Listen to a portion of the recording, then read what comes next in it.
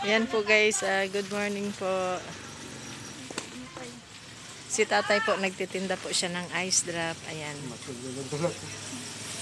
Ang sipag po ni tatay. Ayan, binigyan po ng anak ko ng ah, gatas na beer brand para sa kanyang anak po. Ilang taon na yung anak nyo, tay? Sampo medyo po yung anak ko, yung maliit lang.